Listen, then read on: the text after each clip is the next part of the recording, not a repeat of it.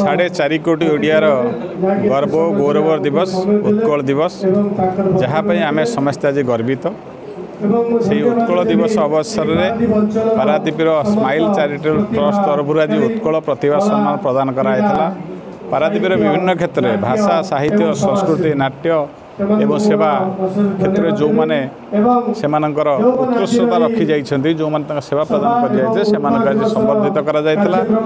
ଏହି ଅବସରରେ ମୁଁ ସ୍ମାଇଲ୍ ଚାରିଟେବଲ୍କୁ ଧନ୍ୟବାଦ ଦେବି ତାଙ୍କର ଏହି କାର୍ଯ୍ୟକ୍ରମ ପାଇଁ। ଏବଂ ପାରାଦ୍ୱୀପରେ ମାଇଲ୍ ଚାରିଟେବଲ୍ ଟ୍ରଷ୍ଟ ମଧ୍ୟ ଏକ ଅଗ୍ରଣୀ ସ୍ୱେଚ୍ଛାସେବୀ ଅନୁଷ୍ଠାନ। ତାଙ୍କର କାର୍ଯ୍ୟଧାରା ବର୍ଷ ସାରା ଆମମାନଙ୍କୁ ଉତ୍ସାହିତ କରିଛି ଏବଂ ତାଙ୍କର ଆଜି କାର୍ଯ୍ୟ ସମସ୍ତ ପାରାଦ୍ୱୀପବାସୀଙ୍କୁ ରୁଧିବନ୍ତ କରିଛି। ମୁଁ ସଚିତ୍ର କୁମାର ରାଉତ ସଭାପତି ସ୍ମାଇଲ୍ ଚାରିଟେବଲ୍ ଟ୍ରଷ୍ଟ। ଆପଣମାନେ ସମୟ ଜାଣିଥିବେ ଆମର ଏ ପାରାଦ୍ୱୀପ ଅଞ୍ଚଳରେ ସ୍ମାଇଲ୍ ଚାରିଟେବଲ୍ ବିଗତ ଛଅ ବର୍ଷ ଧରି ବିଭିନ୍ନ ପ୍ରକାର ସାମାଜିକ କାର୍ଯ୍ୟ କରିଚାଲି ଆସୁଛି।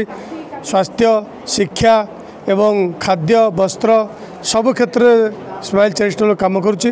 ତେଣୁ ଆମେ ଗତ ବର୍ଷ ଦୁଇ ହଜାର ବାଇଶରେ ଗୋଟେ ଚିନ୍ତା କରିଥିଲୁ ଯେ ଆମ ଅଞ୍ଚଳରେ ପାରାଦ୍ୱୀପ ଅଞ୍ଚଳରେ ଯେଉଁ ଓଡ଼ିଆ ପୁଅ ଓଡ଼ିଆ ଜାତି ଏବଂ ଯେଉଁମାନେ ନିଜର କାର୍ଯ୍ୟକ୍ଷେତ୍ରରେ ଦକ୍ଷତା ଦର୍ଶନ କରୁଛନ୍ତି ସେମାନଙ୍କୁ ମଧ୍ୟ ଆମେ କିଛି ମାନେ ସମ୍ମାନିତ କରିବୁ।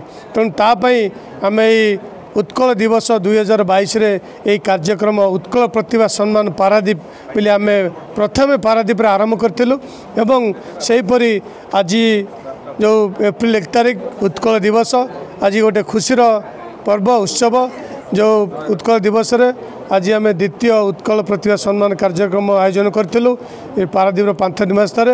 ତେଣୁ ଆଜି ଆମେ ଚଉଦ ଜଣ ପ୍ରତିଭା ଯାହାକି ପାରାଦ୍ୱୀପ ଅଞ୍ଚଳରେ କ୍ରୀଡ଼ା ସ୍ୱାସ୍ଥ୍ୟ କଳା ନାଟ୍ୟ ସାହିତ୍ୟ ସମାଜସେବା ପରିବେଶ ସମସ୍ତଙ୍କୁ ଆଜି ଆମେ ସମ୍ମାନିତ କରିଥିଲୁ।